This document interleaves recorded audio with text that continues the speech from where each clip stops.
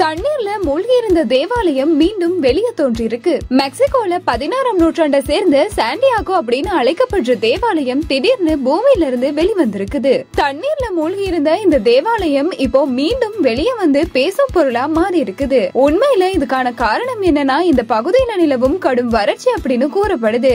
இந்த கோவில் பொதுவா குறைந்த நீர்மட்டம் உள்ள காலங்கள்ல ஓரளவு தெரியும் அப்படின்னும் வழக்கத்தை விட அதிகமான வெப்பநிலை காணப்பட்டாலும் மழை இல்லாத காலங்கள்லயும் அணை வறண்டு போய் தண்ணீர்ல மூழ்கி இருந்த தேவாலயம் மீண்டும் வெளியே தோன்றி இருக்கலாம் அப்படின்னு சொல்லப்படுது.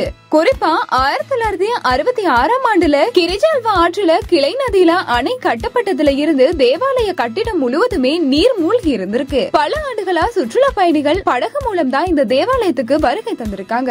இப்போ தண்ணீருக்குள்ள இருந்து இந்த தேவாலயத்தோட கட்டமைப்பு முழுமையா வெளியே வந்திருக்குது. இந்த நிலையில மக்கள் இப்போ கார்களையும் மோட்டார் சைக்கிள்களையும் தேவாலயத்தோட வாசலுக்கே கொண்டு செல்றாங்க সালাম